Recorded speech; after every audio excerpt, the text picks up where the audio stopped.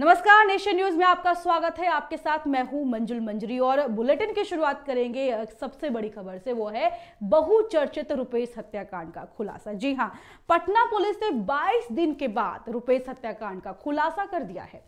पटना के एसएसपी उपेंद्र कुमार शर्मा ने बताया कि रुपेश सिंह की हत्या रोड रेस की वजह से हुई थी।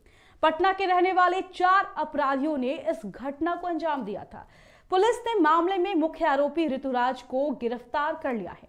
गिरफ़्तार आरोपी ने अपना अपराध भी कबूल कर लिया है। अपराधी के पास से पुलिस ने हथियार, गोली, बाइक के अलावा अन्य सामान भी जब्त किए हैं।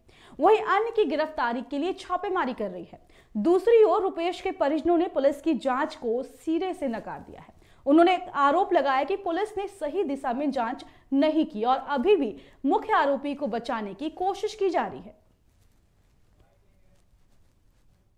हमने हल्का से गिरफ़्तार किया, जैसा आपको बताया, घर के बाहर से ही हम लोगों ने उसको गिरफ़्तार किया। हम लोग वेट कर रहे थे इसके निकलने का। वहीं हम लोग इसका एफ़ आई आर हमने आराम से किया है। इसमें निशानदेही से उसी इलाके में जो कन्हई नगर है, वहाँ के डेरा से जो बरामदगियाँ हुई हैं, वो हुई हैं। पूछताछ में पता चला कि ये सारे घटनाक्रम को फॉलो भी कर रहा था। हमने उसमें बताया कि इसने सारी न्यूज़ देखी। इसने ये भी न्यूज़ देखा कि कोई लाइसेंस वाली बात आई थी। इसने ये भी न्यूज़ देखा कि बिल्डर वाली बात आई थी। इसने ये भी नहीं देखा कि मृतक के गाँव में पच्चीस हज़ार रुपया कोई कोई न्यूज़ चैनल पे चला था। तो he was following anything and he was very sure कि पकड़ा नहीं जाएगा। और पकड़ा जाने के बाद जब इसने कुछ खुलासा किया तो कैसे शेयर कर रहा हूँ। कुछ ऐसा मैंने आपको सारा कुछ बताया। ये जो फुटेजेस है ये साइंटिफिक एविडेंस है। इसके बाद जो मोटरसाइकिल का नंबर प्लेट है उसका बरामद होना मोटरसाइकिल का बरामद होना जो कपड़ा है वो मर्डर में सबसे बड़ा एविडेंस सेम टू सेम अपना बात बताओ किम तो पुलिस के इस खुलासे के बाद और क्या कुछ जानकारी निकलकर सामने आ रही है इस पर ज़्यादा जानकारी के लिए हमारे साथ हमारे सहयोगी लाइव मौजूद है उत्कर्ष।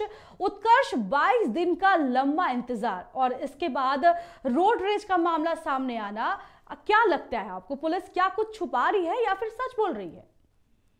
मंजुल करीब तीन हफ़्ते बीत गए, जहाँ एक तरफ़ सरकार की किरकिरी हो रही थी और पुलिस विभाग पे लगातार सवाल उठ रहे थे। उसके बाद काफ़ी मशक्कत के बाद हमें लगता है कि पुलिस ने आज प्रेस कॉन्फ्रेंस की है। उसके बाद आज उन्होंने खुलासा किया है कि रुपेश हत्याकांड सिर्फ़ एक था, ना कि कोई षड्यंत्र था। एक तरफ़ उनके परिवार जो परिजन है, वो कह रहे हैं कि ये पुलिस है, वो नाकमी निकम्मी है और वो लगातार झूठ बोल रही है और दूसरे तरफ़ पुलिस एक वादा कर रही है लोगों से कि हमने अपराधियों को पकड़ लिया है, जो एक अपराधी पकड़े गए हैं, उसका नाम ऋतुराज है। उसे पटना में छापेमारी के दौरान पकड़ा गया है। फ़िलहाल तीन लोग फरार हैं। उत्कर्ष नवंबर में यह रोड रेस की घटना घटी, जैसा कि पुलिस ने बताया और आरोपी भी यह बात कबूल कर रहा है। लेकिन नवंबर के बाद यह घटना 12 जनवरी को इस तरह के हत्याकांड होना है। आपको लगता है कि इतने वक्त, लंबा समय इन लोगों को प्लानिंग करने में लगा होगा? या पुलिस ऐसा है कि कुछ कोई अन्य आरोपी को छुपा रही हो?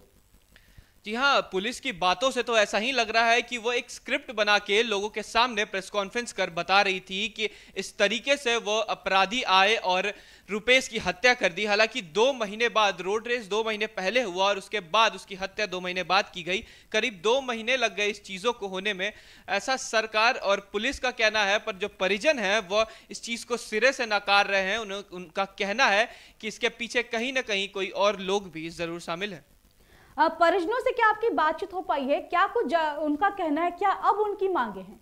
क्योंकि वो तो संतुष्ट नहीं है इस खबर के आने परिजन परिजनों का लगातार यही कहना है कि पुलिस जो है वह कहीं ना कहीं कताही बरत रही है या फिर कोई ऐसे लोग हैं जो पुलिस को जबरन रोक रहे हैं इस मामले में ज़्यादा तफ्तीश करने में और पुलिस जो लगातार जैसी बातें सामने आ रही हैं कि जो चार लड़के थे उन्हें हिरासत में एक को लिया गया है तीन जो है वो अभी भी फरार हैं।